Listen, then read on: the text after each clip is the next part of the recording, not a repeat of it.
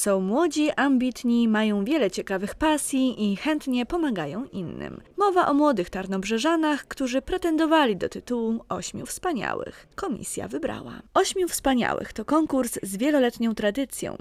Od ponad 20 lat co roku kapituła konkursowa wybiera spośród uczniów szkół gimnazjalnych i ponadgimnazjalnych ósemkę tych, którzy wyróżniają się swoją postawą, zachowaniem czy też działaniami. Do pierwszego etapu konkursu uczniów zgłaszają nauczyciele. Spośród wszystkich zgłoszeń kapituła konkursowa do drugiego etapu wybrała najlepszą dwunastkę.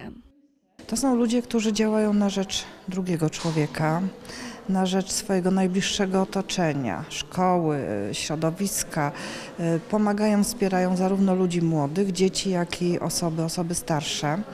Y, Działają też dla społeczności lokalnych, czyli udziela- udzielają się społecznie w młodzieżowych radach miasta, y, we wszystkich instytucjach i w zasadzie są wszędzie, w zakładach pielęgnacyjnych, y, w hospicjach. Ci młodzi ludzie są wszędzie tam, gdzie, gdzie są potrzebni. I jak sami mówią, daje im to przede wszystkim wiele radości i satysfakcję. Uwielbiam pomagać ludziom, e, czy to starszym, czy to dzieciom, czy to też e, osobom jakimś chorym, poszkodowanym. E, Dla mnie nie ma żadnego problemu. Skupiam się na e, pomocy charytatywnej pod postacią śpiewu. Organizuję koncerty charytatywne, wyjścia do DPS-u, śpiewamy im kolendy i piosenki patriotyczne. Komisja konkursowa nie miała łatwego zadania, ale wybrać trzeba było. Tytuł ośmiu wspaniałych otrzymali Dominika Pikus, Justyna Kosior, Estera Szymczak, Piotr Paradowski, Julia Toś, Krzysztof Myszka, Jagoda Stefaniak, Bernadetta Chorzępa. Do udziału w etapie ogólnopolskim konkursu Ośmiu Wspaniałych w Warszawie spośród tarnobrzeskich laureatów została wybrana Dominika Pikus.